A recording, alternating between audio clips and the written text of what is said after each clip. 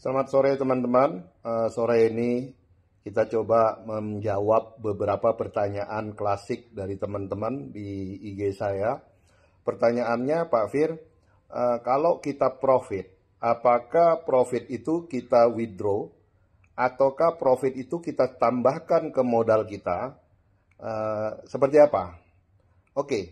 uh, banyak teman-teman punya strategi masing-masing dengan uh, uh, keyakinan dan kepercayaannya sendiri-sendiri. Tetapi dengan pengalaman saya yang sudah puluhan tahun dan uh, tahu bagaimana sifat market itu sendiri, saya memilih setiap profit saya berapapun saya langsung withdraw. Jadi saya tidak pernah uh, mau gulung istilahnya gulung semua profit dengan modal yang ada digulung jadi modal lagi, digulung jadi modal lagi dan lama-lama akhirnya Anda kegulung sendiri. Nah, karena kita harus tahu tujuan pertama kita masuk di market untuk trading adalah profit. Setiap tujuan kita masuk market tujuannya cuma satu, profit.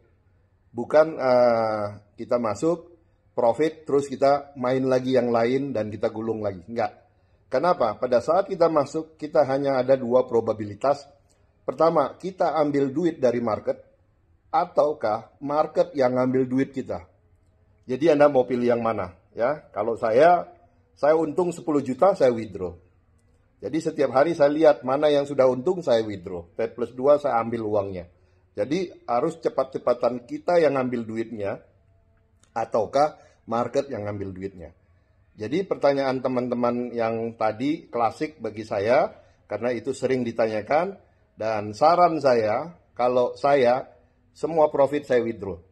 Bagi saya kalau saya masuk 50 juta ataupun saya masuk 100 juta, kalau uang saya jadi 75 juta, 25 jutanya saya amankan dulu. Ya.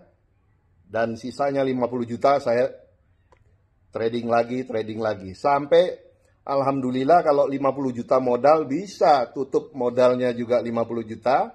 Artinya modal yang kita pakai 50 juta untuk trading itu benar-benar kita anggap uang hilang lah. Jadi kalaupun satu saat uh, arus nyangkut karena ada pepatah mengatakan sepitar pintarnya tupai melompat, kadang kita juga salah jalan. Kadang setiap hari juga kita salah masuk, Oke, kalau tidak sempat jual, kita cut loss, itu nggak masalah. Jadi modal yang kita pakai 50 juta benar-benar udah kita dapat gantinya dari pasar.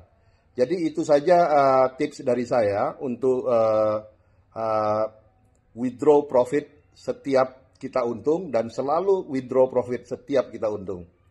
Terima kasih teman-teman, selamat sore, sukses selalu untuk kita semua.